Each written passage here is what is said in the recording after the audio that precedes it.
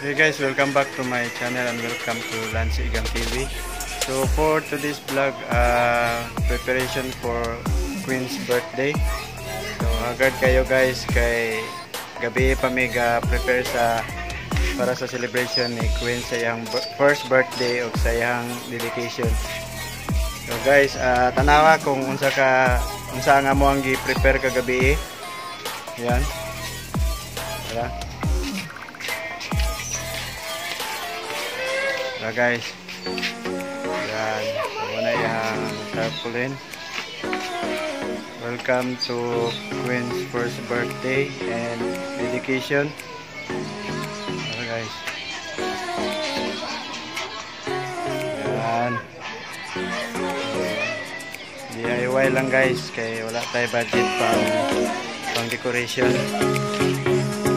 Siyang venue.